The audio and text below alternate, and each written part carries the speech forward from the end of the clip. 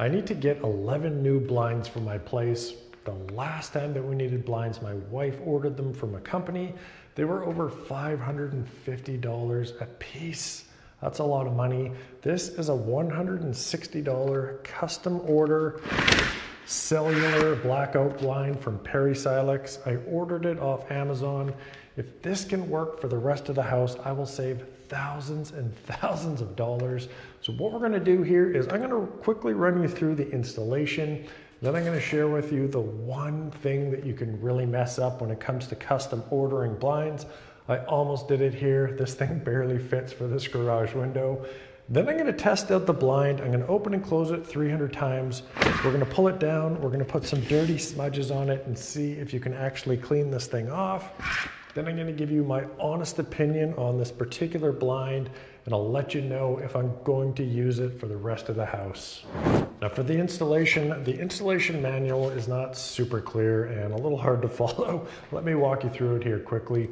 You want to mount both of the brackets three and a half inches in from the end of the blinds. That's going to avoid the winding mechanism.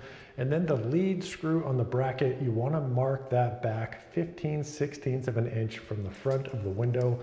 That's going to give you a nice flush installation on the front of the blind. So mark those two locations out for each of the brackets. And then if you want a handy little tip to make it easier to put the brackets on, before you get the bracket there, just grab one of the screws, put it into the marked out location for the lead screw, screw it in halfway, pull out the screw, and then pop the bracket in there. It's gonna be easier to screw into that pre-drilled hole.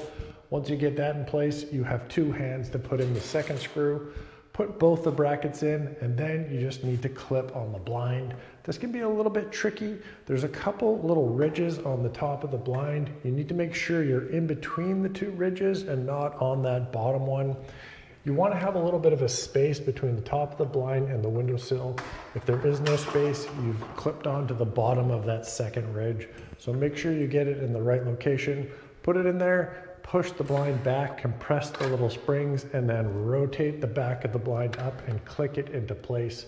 Clip on the handle in the center and you're done. And a critical tip here on something that I nearly, I kind of did mess it up on this blind when I ordered it.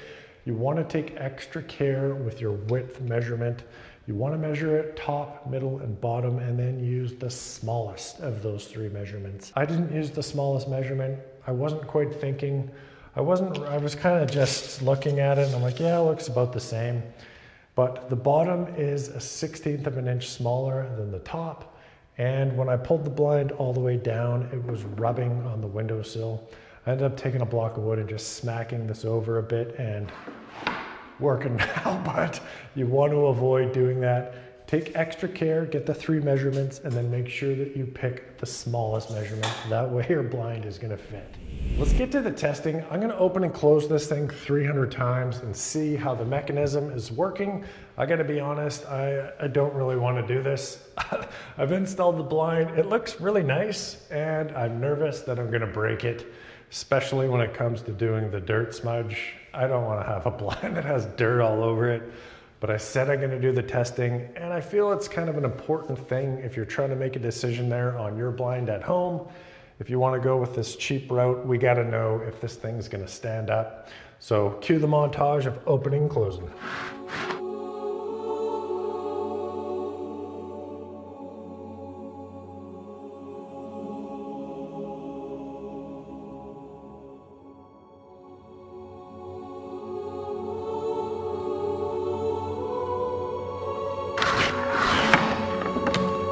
Three hundred. That was that was not that much fun. I've got the dirty finger. We're gonna smudge it on the blind. I'll see if I can wipe it off with a sponge. If that's not working, I do have my steamer unit here. I don't have a good feeling about this, the blind. I think I'm gonna be living with a dirty blind for the rest of my life. Let's see what happens here.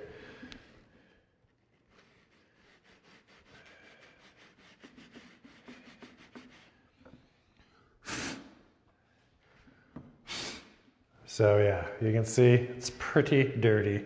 All right, let's try the sponge. This sponge is, I've just wetted it down and squeezed it out. Let's see what happens here.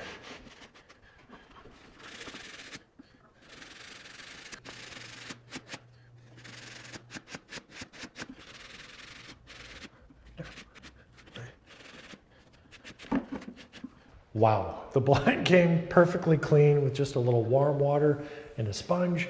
The fabric is kind of a papery fabric. Never would have guessed that it would have washed off with just a sponge. I thought it was definitely going to be ruined or just have a big brown smudge all over it. Very surprised to see that it washed off. The open and close test, I was pretty, I was manhandling this thing because it was a difficult struggle to do the 300 open and closes in a short period of time. A couple times the, the ruffles here got all kinked up, but it bounced back and yeah, I'm impressed with the blinds. I'm gonna order two more of them for the windows upstairs in the bedrooms that I'm redoing. If you're looking for blinds, I will link this one in the description. This particular blind here was $120 American, 160 Canadian, and yeah, they make different types. This one's blackout, they have light filtering. They also make one that is um, insulated with some foil inside of there to resist kind of the sun. It gives you some thermal protection there. I'll link those in the description. You can have a look at them if you're thinking about some new blinds for your place. And if you're thinking of subscribing to the channel or you're wondering what this channel is all about, you can check out this video right over here. So I need to get 11 new blinds for my house. The last time that we needed blinds, oh my God, there's a giant truck outside. Shh. What is he doing out there?